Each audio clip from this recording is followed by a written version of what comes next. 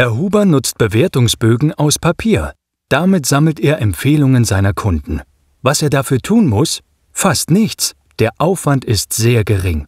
Herr Huber übergibt die Bewertungsbögen seinen Kunden. Diese füllen sie fälschungssicher aus und geben sie in einer Sammelbox ab. Wenn viele Bewertungen zusammengekommen sind, schickt sie Herr Huber kostenfrei per Post zurück.